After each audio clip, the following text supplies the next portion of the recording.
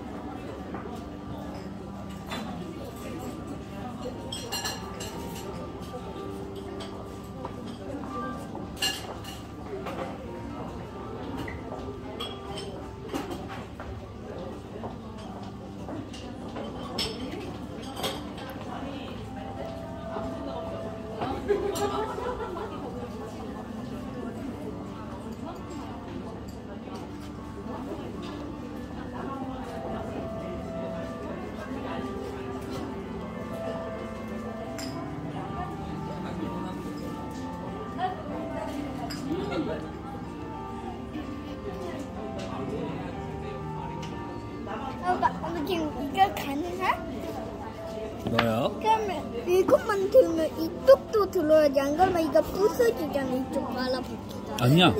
가능해. 실제로 이렇게 많이 해.